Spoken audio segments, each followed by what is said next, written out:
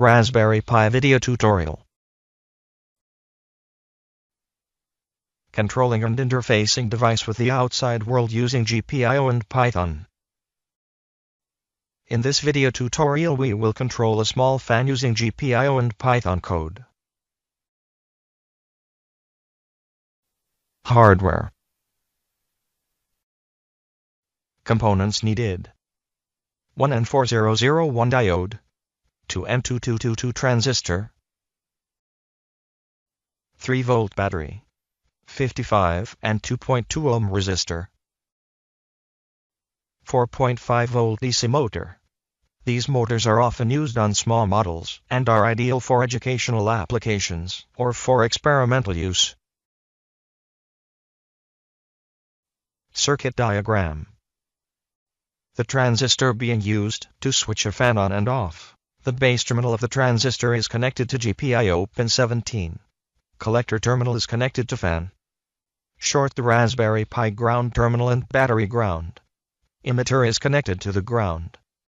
1N4001 diode is connected across the fan. Diode is used to limit the back EMF.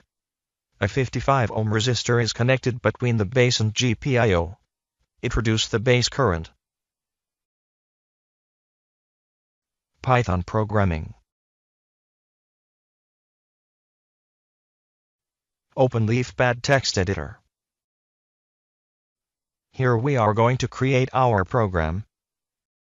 Copy this code. Paste here.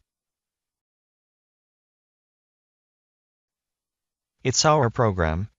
First we import the GPIO library. Next import time library. Allows us to use sleep.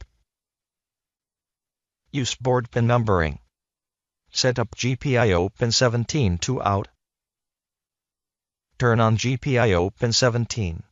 Then fan on and wait 2 second. Turn off GPIO pin 17. Then fan off and wait 5 second. Again turn on GPIO pin 17 then fan on, and wait 3 second. Turn off GPIO pin 17. Then fan off. Save the program.